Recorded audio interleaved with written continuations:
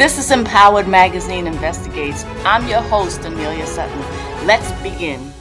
The artificial intelligence generated deepfake pornography of Taylor Swift prompted lawmakers to federally protect people against abuse by introducing the No Artificial Intelligence, Fake Replicas, and Unauthorized Duplications Act to Americans from AI generated fakes and forgeries.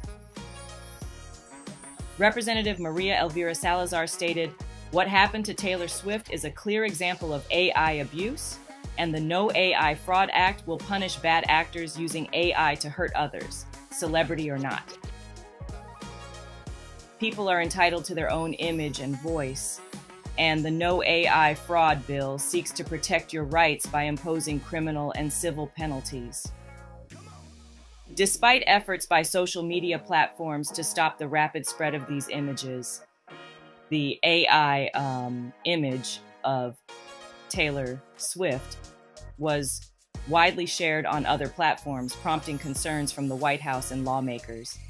White House Press Secretary Karine Jean Pierre stated, We are alarmed by the reports of the circulation of false images. As the No AI Fraud Act gains momentum. It is clear that immediate action is needed to protect people from the abuse of AI technology.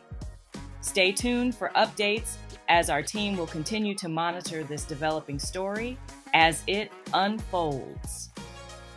If you stand for justice, please join the family by dropping hashtag Anelia Sutton in the comments. To level up in law, check the links in the video description box.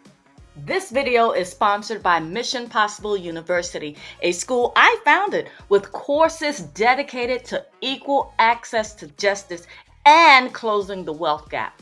Join more than 4,000 students and over 20,000 alumni in the pursuit of brave ideas on missionpossibleuniversity.com. I believe that legal education and personal finance are two sides of the same coin because corrupt officials target people who don't know their rights and are struggling financially. But with the right financial tool, you can protect yourself by building your personal credit. And that's where the self card comes in.